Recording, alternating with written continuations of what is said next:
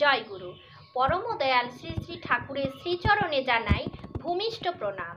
আপনাদের প্রতি প্রত্যেককে জানাই রানন্দিত জয় গুরু আজ ইষ্ট প্রসঙ্গে আলোচনা করব, আমাদের চলার জন্য তো জানেন, জীবনে কাজ করবার জন্য, সব রকম কাজ করবার জন্য এনার্জি লাগে। আর এনার্জি সব সময় থাকে না। এই এনার্জি যখন ঢলঢলে হয়ে যায় মানে এনার্জি যখন কমে যায়, তখন পরমদয়াল শ্রী ঠাকুর কি করতে বললেন? আজকে তা নিয়েই আলোচনা করব। পরমদয়াল শ্রী শ্রী ঠাকুর আলোচনা প্রসঙ্গের দ্বিতীয় খণ্ডে উননব্বই পৃষ্ঠায় এই কথাগুলি আলোচনা করলেন।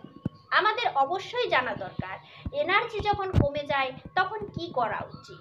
কেষ্টদা একবার পরমদয়াল শ্রী শ্রী ঠাকুরকে প্রশ্ন করলেন, চলতে চলতে মানুষের এনার্জি ঢলঢলে হয়ে যায় কেন? শ্রী শ্রী ঠাকুর বেশ কয়েকটি উপায় দিলেন। বললেন, যে যত বিকেন্দ্রিক, অর্থাৎ আদর্শকে ধরন যার যত কম, জীবন তার তত কম। কারণ মানুষকে হয় আদর্শের পথে চলতে হয়, না হয় প্রবৃত্তির পথে চলতে হবে। এছাড়া কোনো তৃতীয় পন্থা নেই। হলে আদর্শকে ধরতে হবে, সেই আদর্শের পথে চলতে হবে। আর না হলে কিন্তু প্রবৃত্তি। দুটোর মধ্যে একটা তো আমাদের বেছে নিতেই হবে। প্রবৃত্তির পথে মানুষ যত চলে, তার এনার্জি তত অপব্যয়িত হয়। তাই লাভজনক যা, জীবনীয় যা তেমনতর ব্যাপারে সে শতই শ্লথ হয়ে ওঠে। প্রবৃত্তির তার সত্তার রস খেয়ে শুষে নিয়ে যায়। তাই সত্তা সম্বর্ধনী প্রচেষ্টায় তার ঘাটতি এসে পড়ে।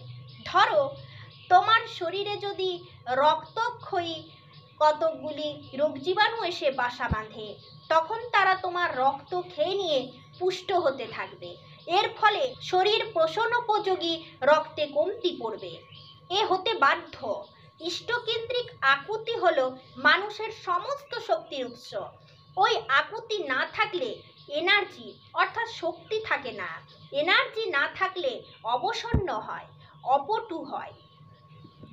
তাহলে বুঝতেই পারলেন শ্রী শ্রী ঠাকুর কি বললেন।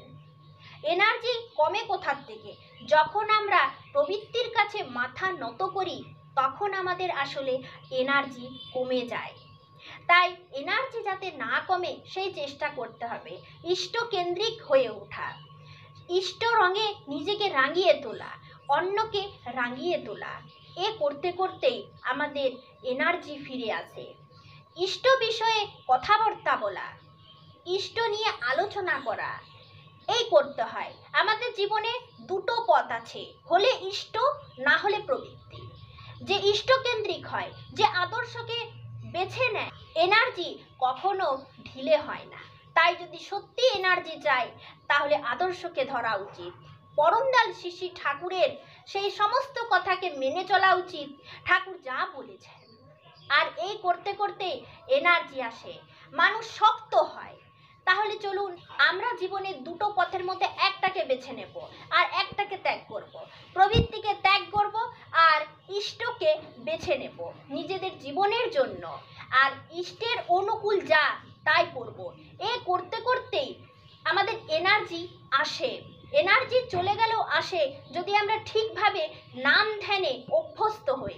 যে নিয়মিত নাম ধ্যান করে, তার কোনো দিন এনার্জি যায় না, বরং সব কাজে খুব ভালোভাবে এনার্জি দেখা দেয়। এইভাবে এনার্জি আনার জন্য আপনারা প্রবৃত্তিকে ত্যাগ করুন পরমদাল শিশি ঠাকুরের দেওয়া পথকে অনুসরণ করে চলুন। আজকে ইষ্ট প্রসঙ্গ এখানেই শেষ করছি। ভালো থাকুন, সুস্থ থাকুন, জয় গুরু।